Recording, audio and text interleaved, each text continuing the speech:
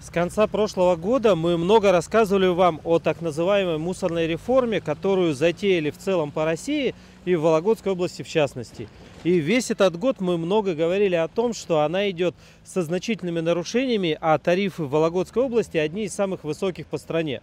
Эти тарифы нам снижали трижды в течение года. И каждый раз мы говорили о том, что нормы накопления, сами по себе тарифы никоим образом не рассчитаны. Мы много обращались в прокуратуру и неоднократно отмечали, что в городе и в области не проводится ни сортировки, ни раздельного сбора мусора, а сама по себе реформа не является, по сути дела, реформой. И даже в апреле губернатор заявил о том, что реформа не должна вызывать нареканий. Мы должны создать прозрачную систему накопления, утилизации, сортировки, переработки мусора на территории Вологодской области, чтобы она ни у кого не вызывала нареканий.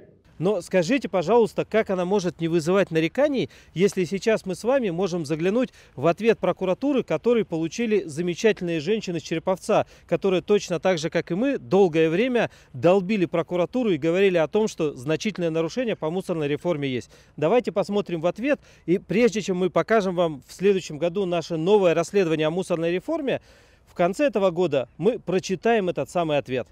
Ваша жалоба о нарушениях законодательства в сфере обращения с твердыми коммунальными отходами, непринятие прокуратуры области мер к департаменту ТЭК Вологодской области, поступившей из Генеральной прокуратуры Российской Федерации, рассмотрена. По результатам ранее проведенной прокуратурой проверки приказы начальника департамента, которым установлены тарифы на услуги региональных операторов, первым заместителем прокурора области от 7 февраля принесены протесты, которые рассмотрены. Кроме того, 13 февраля прокуратурой области в Генпрокуратуру направлены материалы, материалы, полученные в ходе проверки, для рассмотрения вопроса о направлении их в ФАС России. Согласно информации Генпрокуратуры, материалы проверки направлены для рассмотрения ФАС. По итогам рассмотрения материалов прокурорской проверки ФАС России в адрес департамента выданы предписания о приведении приказов об установлении тарифов в соответствии с требованиями действующего законодательства. Исполнение предписаний находится на контроле ФАС. Поскольку уполномоченным органам в обозначенной сфере приняты меры в рамках компетенции области, то заявления в суд об оспаривании приказов начальника не направлялись.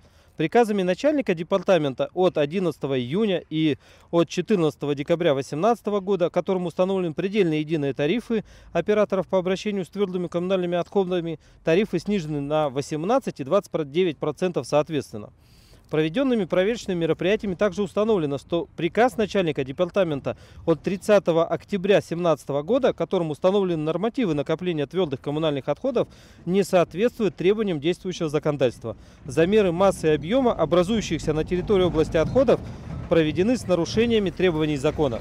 В связи с этим первым заместителем прокурора области 23 марта принесен протест на вышеуказанный нормативный правовой акт, который рассмотрен.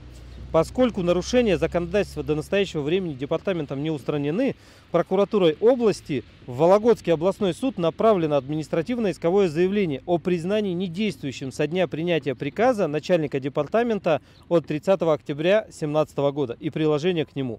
Также установлено, что Департаментом финансов Вологодской области по результатам проверки соблюдения требований законодательства о контрактной системе Департаменту вынесено предписание о необходимости исполнить обязательства по ведению претензионной работы с Институтом развития регионов.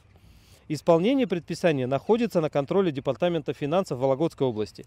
Кроме того, в связи с ненадлежащим исполнением государственного контракта от 18 октября 2016 года материалы проверки по факту хищения бюджетных средств в особо крупном размере прокуратурой области 20 декабря направлены в порядке 37 статьи УПК начальнику Следственного управления МВД России по Вологодской области для решения вопроса об уголовном преследовании ответственных лиц по признакам преступления, предусмотренного частью 4 4 статьи 159 УК РФ.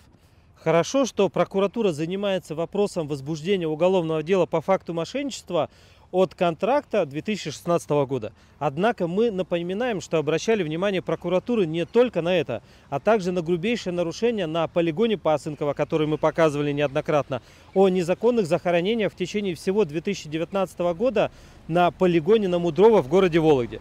Мы обращали внимание, что на самом деле за всей этой схемой мусорной реформы стоит и серый кардинал Кремлев – и нарушитель Тряничев. И привлекать к ответственности надо и замгубернатора Стрижова, и начальника департамента Мазанову. И, конечно же, за всем этим стоит тот самый губернатор Вологодской области Кувшинников, который говорит нам о том, что реформа не должна вызывать нареканий. Мы будем надеяться, что реальные виновники будут привлечены к ответственности, а настоящая реформа по обращению с твердыми коммунальными отходами будет продолжена и доведена до конца и с переработкой, и с раздельным сбором мусора.